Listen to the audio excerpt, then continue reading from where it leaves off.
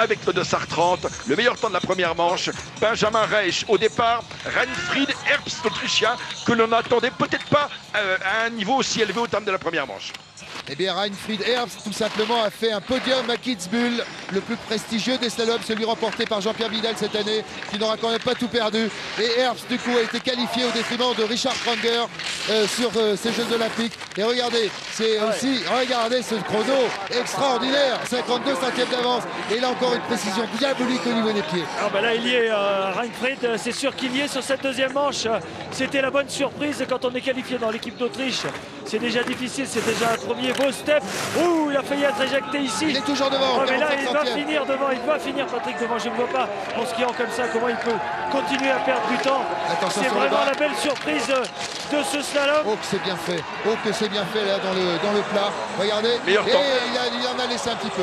Il en a laissé un petit peu, mais il est devant Schoenfelder, deux Autrichiens aux deux premières Meilleur places. temps, Rainer Herbst. Rainer Herbst qui a un peu plus de 25 ans, qui effectivement a terminé deuxième à Kitzbühel derrière Jean-Pierre Vidal. Et il est actuellement septième au classement de la Coupe du Monde de slalom. Rainer Herbst.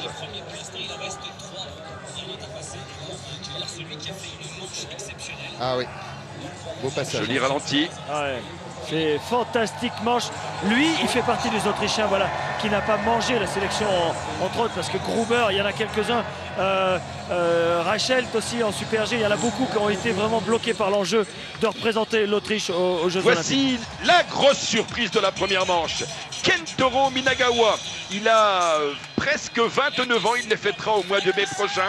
Et il a réussi une superbe première manche. Troisième meilleur temps à 7 centièmes seulement de Benjamin Reich. Et oui, c'est la vraie perf de la journée. Minagawa qui n'a jamais été aussi près de succéder au japonais Igaya. Ah, il est solide, il est bien parti, euh, bien équilibré. euh, Il se serre de ses bras, il a l'air un tout petit peu. Regardez comme Ah, il est un précis, il est haut, il écarte les bras bien. C'est une autre façon de skier, c'est les, c'est les pieds euh, plus serrés, beaucoup de précision. Il joue plus sur la précision que sur la grosse attaque euh, et sur la vitesse de pied. Mais il y est. On a l'impression visuellement qu'il peut peut-être concéder du temps. Et Ah oui, ouais, c'est ça. 30 centièmes de retard. 30 centièmes de retard pour Minagawa qui fait quand même l'une des plus belles performances de sa carrière.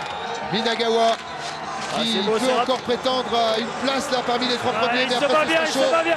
Et il est derrière, il est derrière, il est troisième pour l'instant Il est Minagawa. troisième. Belle, belle performance du japonais Minagawa. Mais ça va être juste. hein. troisième à 21 centièmes, c'est vrai Patrick, ça va être juste, car doivent encore partir Palander et Reich. Il faudra en fait que Palander et Reich n'arrivent pas en bas euh, pour que Minagawa soit sur le podium. Minagawa qui a connu une étonnante éclipse en 2000, 2001, eh ben, il avait fait des bons résultats à Kitzbühel, à Skåne Kalle Palander, le Finlandais, il a été champion du monde de slalom à Veil Beaver Creek.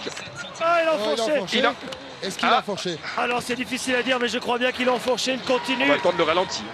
Ah oui, l'armoire Alors, euh, finlandaise, lui qui est si physique, c'est un physico-physique. Hein, euh, Kalle Palander, il est parti.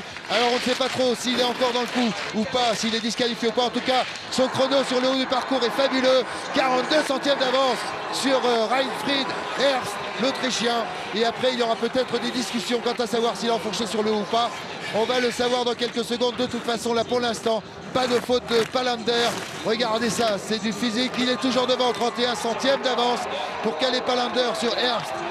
Oh là Ouais, là il veut là, se prouver à lui-même, mais il aura plus de regrets qu'autre chose à faire ça s'il a enfourché. Et en plus, il sera passible d'une amende. Calais Palander, fantastique slalomer, Eh ouais. fantastique ne Mais alors, pas, on va revoir les images. Il n'y a pas de joie. Non, il n'y a pas de joie. à mon avis, il a fait ça pour le fun, pour le sport. Ça Ouais, peut ouais, lui ouais. coûter euh, une amende. Mais Oui, bon. Son attitude euh, est sans équivoque. hein. Vous avez vu son geste avec les bras. Ah ouais, le ski Ouais. passe du mauvais côté. Là, on l'a vu en Voilà, gros plan. voilà le, le ralenti. Quel dommage, quel dommage. Alors c'est exactement ce qui est arrivé à Benjamin Reich lors du slalom du combiné. Il avait l'or du combiné à portée de spatule et Benjamin enfourché exactement de la même façon hein, sur une toute petite faute. Et il est en colère, oui. Il Ah, il a cassé son bâton, euh, Calais Palander. Et en plus, bon, je ne sais pas si euh, les, les gens de la FIS lui mettront cette amende. On risque euh, non, 1000, euh, 1000 euros. À mon avis, ça, ça m'étonnerait parce qu'il a quand même fait le spectacle. Mais Ouais. pour les Autrichiens, oh il y en a eu, c'est certain, il y en a eu. Attention, Allez, c'est voici parti. Benjamin Reich, champion du monde en titre de slalom. Probablement le plus doué dans la jeune génération. Benjamin Reich en piste qui a réussi tout à l'heure le meilleur temps de la première manche.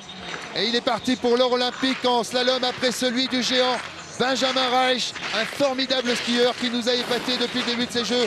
Même si, regardez son avance, 51 centièmes, c'est finement skié, c'est magnifiquement réalisé. Et là, il est impeccable, Benny. Il faut vraiment qu'il tienne jusqu'en bas. Il nous a dit qu'il allait essayer de skier du mieux possible sur la deuxième après sa formidable performance dans la première. Et là, il est sur le bon chemin. Ah, c'est fabuleux de technique, de, fluidité, de toucher de neige. Il concède un tout petit peu de temps sur Herbst pour l'instant 31 centièmes ça risque de lui suffire. Lui il a la, science de la glisse. Benjamin Reich fabuleux Jeux Olympiques. Allez Benny il est devant. Regardez la fin de parcours. Benny champion olympique triplé autrichien avec Herbst et Schoenfelder. Extraordinaire. Regardez on a l'impression qu'il ne lui croit pas triplé autrichien pour finir ces jeux en beauté pour l'équipe d'Autriche. Et pour les Autrichiens en ce moment, compte tenu du climat qui entoure la délégation autrichienne, on peut considérer que ça va être une, une bouée d'oxygène. Regardez, effectivement, trois Autrichiens aux premières places et la première à Benjamin Reusch qui est véritablement un skieur d'exception. Peut-être intéressant de demander son avis à Jean-Pierre Vidal. Jean-Pierre, triple autrichien, c'est impressionnant.